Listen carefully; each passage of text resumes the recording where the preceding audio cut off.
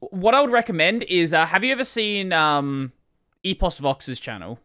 Yes. He has a couple of videos on Linux capture cards.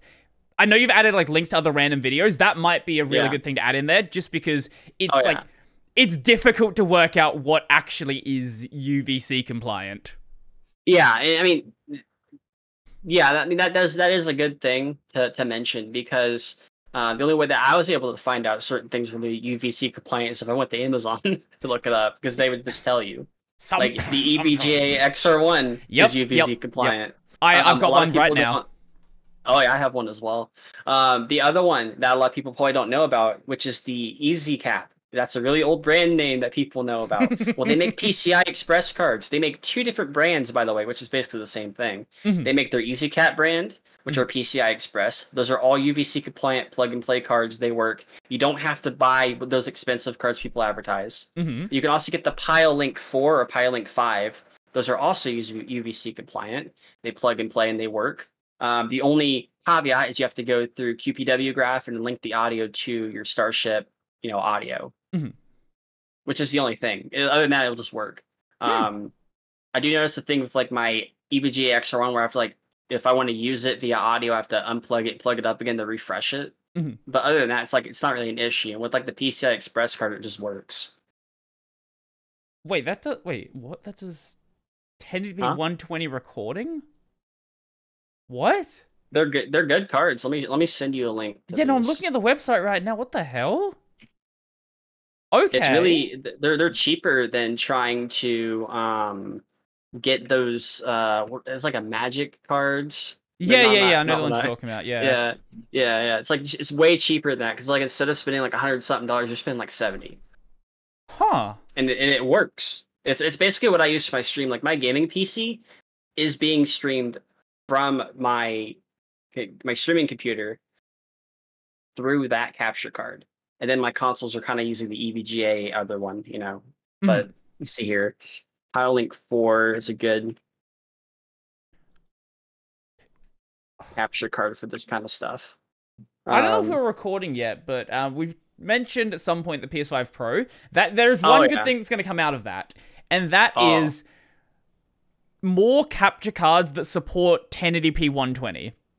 Because that's that's Oh, sort of like the, the baseline for what like capture cards generally work with, like whatever consoles do. So by having a console that does that, there's going to be more companies that make capture cards for that range, which is going to bring down the price on the external ones as well, and actually make them Oh yeah. easier to find. To make it more sustainable, I just think a lot of people who were kind of put off by the PS5's price were like, ah, you should probably go buy a Steam Deck. Yeah, yeah. Oh no, no, it's it's a Just buy a stupid device. Deck. But for the people that do buy it, it's gonna make capturing it easier. Yeah. Oh, so the. Pyro Link's kind of like the Elgato Stream Link then. Um, Elgato Cam Link, sorry. Oh yeah, definitely. It's sort of like the Elgato Cam Link. It's it's more like the. It's just it's just straight up a capture card. it's just what it is. It's not like the uh like it's not like the Cam Link. I need to find you the specific. Well, unless there's a different. at.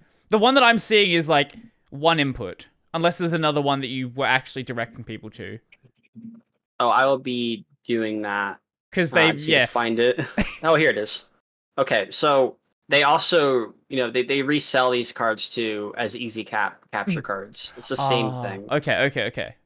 So let me send you this. It's the Live Gamer Raw. Live Gamer Raw. yeah, I mean you have that, and then I think there's another one that's better than that. That sounds like an AverMedia card.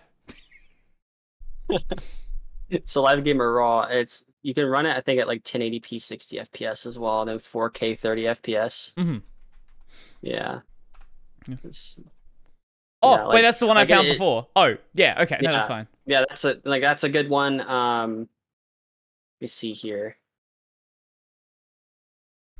Like it's cheaper that way. Let me see if I can go through my purchase history and if I can find another one. Because that's sometimes sometimes they like to uh hide their capture cards. Mhm, mhm. Why That's am I not signed in? why, just to make it easy to find them. God, yeah, I, I, I mean, hadn't they heard the name be. Easy Cap in a long time. Like that's a name you would have heard in the the real early days of console capture. Oh, I found it. Um, if you could find these available, Um, they do work. There's actually a whole list of them, but Mhm. um, the easy caps right now are the probably the easiest ones to get. But it's the Mhm. same thing. It's the same company. Right, So right, right. Pilot is like the subsidiary of Easy Cap. Okay, okay.